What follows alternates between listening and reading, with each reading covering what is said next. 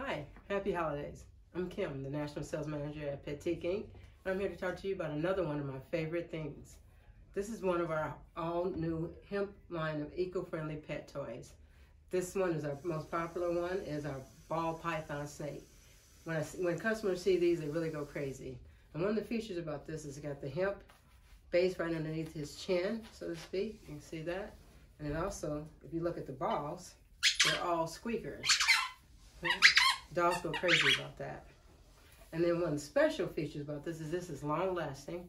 It's a good chew, a good tug, and dogs will have lots of long lasting fun.